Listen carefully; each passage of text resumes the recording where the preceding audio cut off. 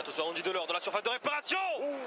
Et la voilà La réduction de l'écart, Andy Delors, 72e minute, qui va aller relancer les Montpellierais et complètement relancer cette fin de rencontre.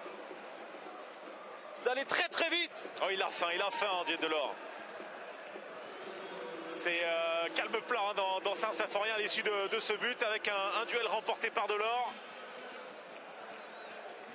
On s'est dit qu'il allait peut-être chercher le, le pénalty. Il est tout seul, hein, jusqu'au fond. Il a ramené le ballon même sur le rond central. C'est pas la même.